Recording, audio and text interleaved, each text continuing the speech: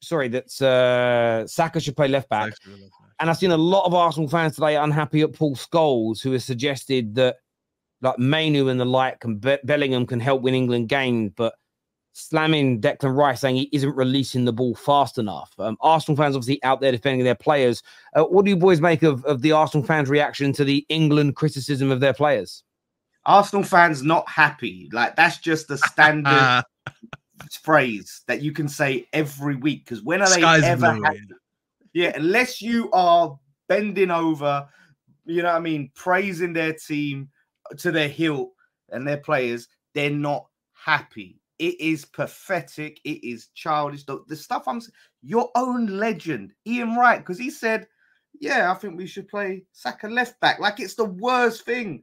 Like he's come out and just said, Yeah, like called him all the names under the sun for for, for making a tactical for your citizens and and all of these this anti-Wright propaganda I'm seeing online. It's pathetic. And now because you know Rice ain't releasing the ball enough. Oh wow, what what a, what slander! It's true. It's true. Relax though. It don't change anything. Why are you so insecure about your players? You sit and hype yourselves up to the moon, like yeah, we're title contenders. We're this, we're that. So why do you care? Why are you insecure?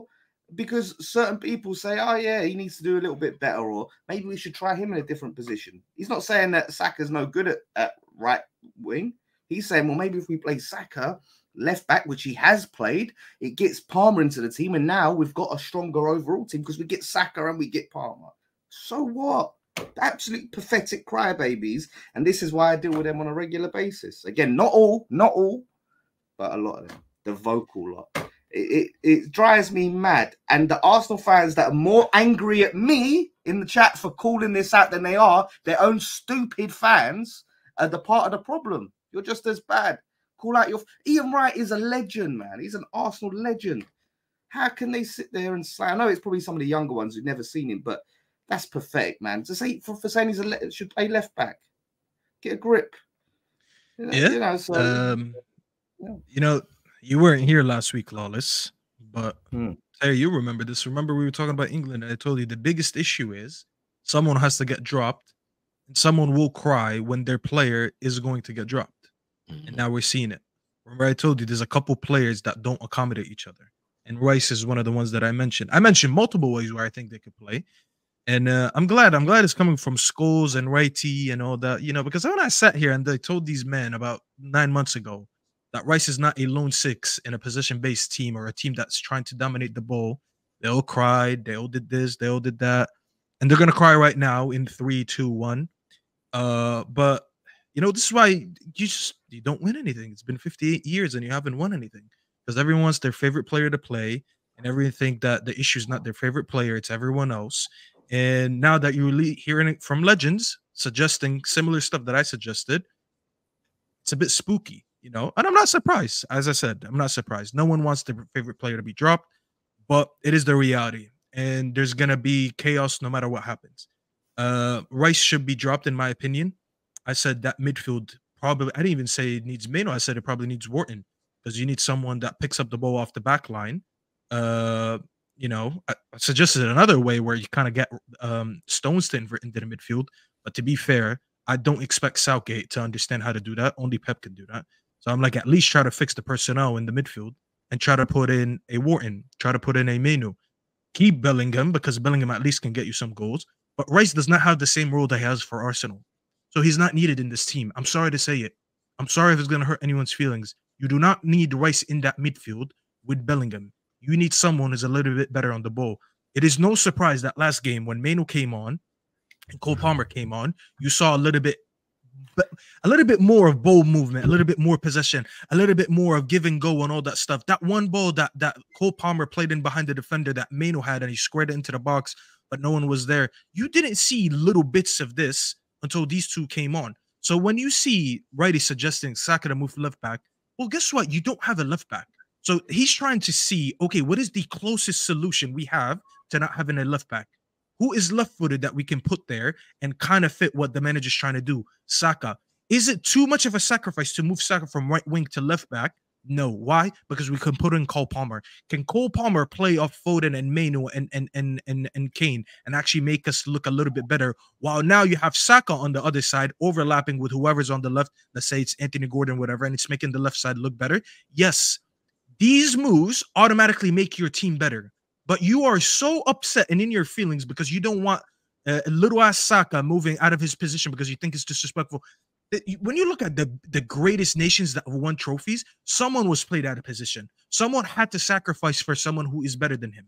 And no one here, and this is why I said England don't win anything, is because everyone is so stuck up when it comes to their players, and no one wants to sacrifice their players having a lesser role or being benched or being played out of position.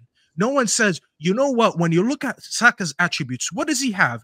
He has pace, he has power. He's left footed. He holds the width well. Would he be a decent left? Has he played left back before? Yes, he did. So maybe he could help us. No one is thinking about it like that. Everyone is so worried. Oh, but now the Chelsea fans are going to troll me if Cole Palmer plays there and he looks better. Oh, now if Foden does well, I'm going to look bad when it comes to the Man City fans. It's pathetic.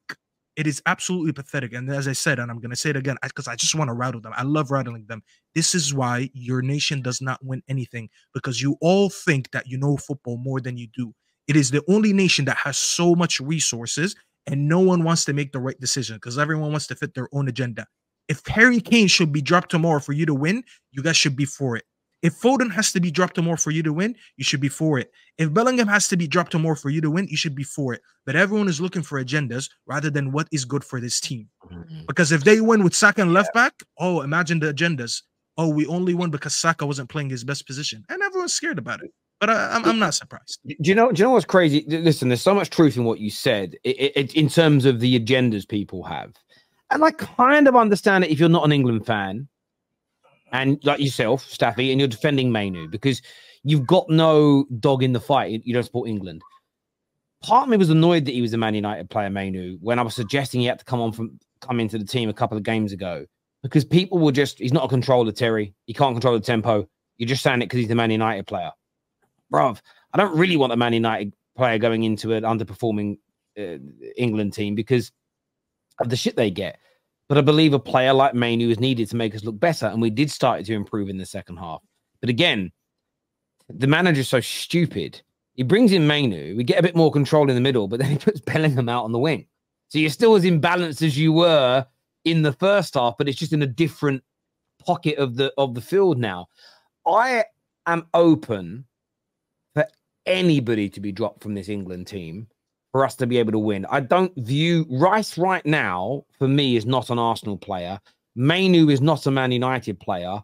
They're England, and it's but we get this at club level. I don't. And have you noticed how the unsuccessful clubs, big clubs that have been unsuccessful for a period of time, their love affair with players is so different to the fans of successful clubs because the fans of successful clubs understand that like City fans, it feels like every year there's two or three players that get rotated in, rotated out. Last season, you barely saw John Stones. Season before, he was a stalwart.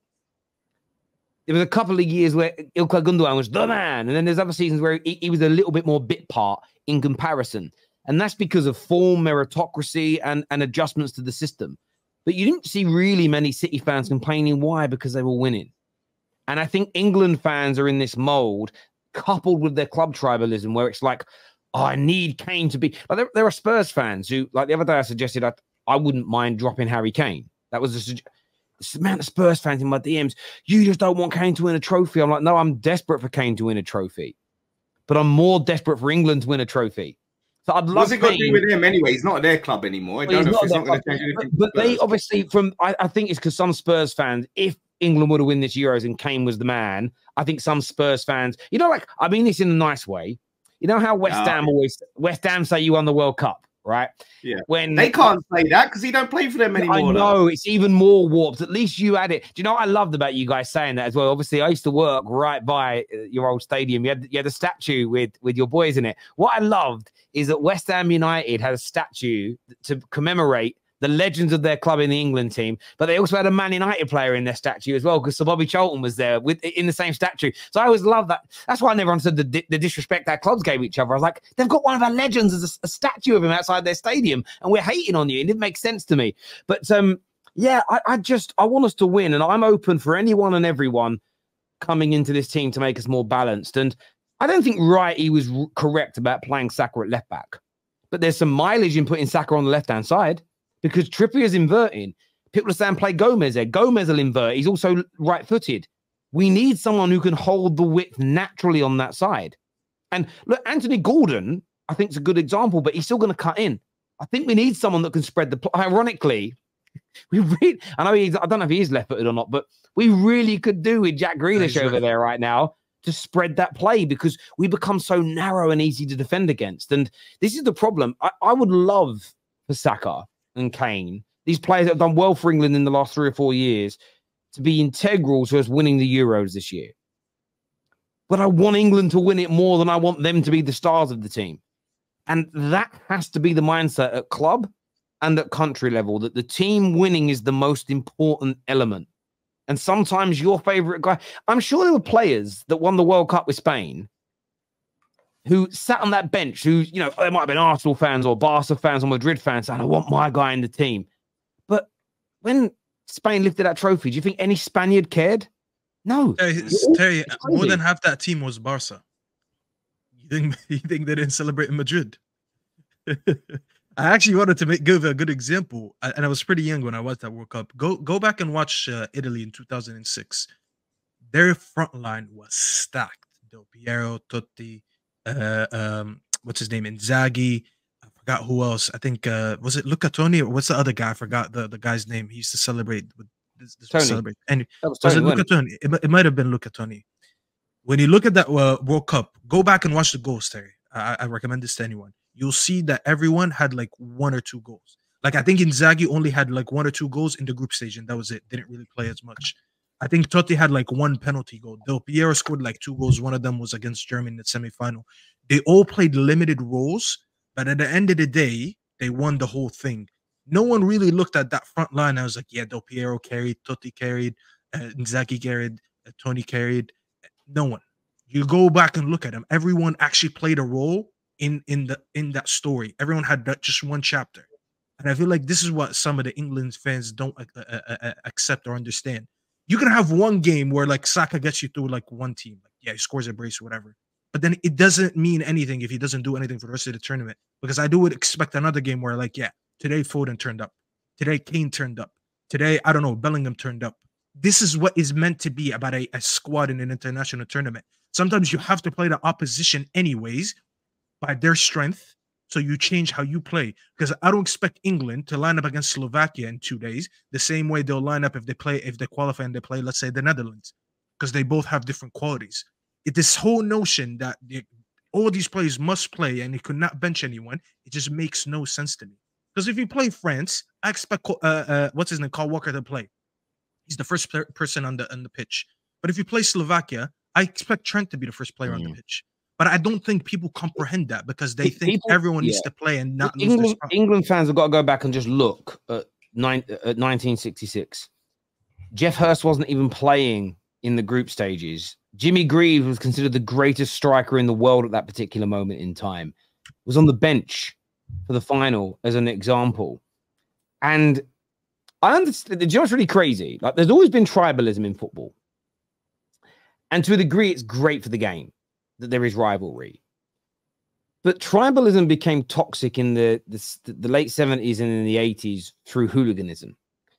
And it's kind of not gone away. I mean, I know there's still some hooliganism that goes on, but it isn't as widespread as it used to be. But it seems to have it seems to have it's almost like the banter era of football is like the new version of hooliganism. It's almost I don't care how bad it impacts my team because some people do it to their own team. Some people it's like I'm going to try and sabotage my own team with nonsense. It's almost it's it's sick. It, it's absolutely crazy. There was no way in 1966 Man City fans and, and, and Liverpool fans wanted Bobby Charlton to have stinkers for England. There was no way that Spurs fans, who loved Jimmy Greaves at the time, by the way, wanted Sir Geoff Hurst to not get a hat trick in the final because he was West Ham. This hmm. that level of tribalism is this it is just it is an absolute abomination. I want Man United to win. I want my players to be the best. But when they put on an England jersey, They're English. They're representing our nation. Get behind them. Drop your. And I know what people want. They want Saka, or they want Mainoo, or they want Kane, or they want Gordon to be the star and the winner. So it's like a badge of honor for their club. No, it's a badge of honor for England. Your club has nothing to do with it. And that element needs to be dropped. So no, I, I totally agree. I, I totally, totally agree. And by the way, if you don't support England, if you're not English, I kind of get you back in your player. I get it. I get it. But it's the English fans doing it. Why? I, I actually I didn't. Understand. I was upset when when uh, was told that Main was going to start. I was so upset. I was like, I don't. When he came on on uh, halftime, I didn't want him to play. I was doing a watch. I was like, fuck, because now I actually got to support me. I wanted him on the bench because I don't want to support England. I was like, if he comes on, he makes him good. I don't want him to come on. So I was like, no, no, stay on the bench. So I'm actually the opposite. I don't want none of the United players to, to play. Put him on the bench so he doesn't get the blame. But it's good. But it's good for. I obviously as a young player, it's good for his development. You know what I mean? I think it's a benefit. Under Southgate, there's no development under Southgate. Oh yeah, fair, fair, fair.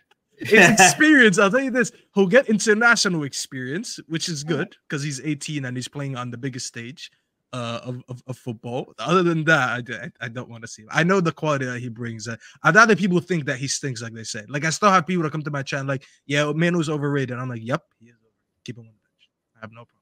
You're right.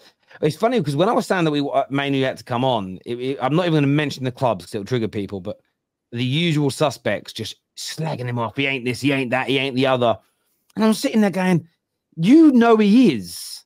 What I'm not even saying he's a finished article, but he's what we needed or partly what we needed. But you're just so worried that if he comes in and we look better, it's going to be a, a, notch on the bedpost for Man United. And your hatred of Man United is getting in your way of being objective on this particular subject. It's crazy to me.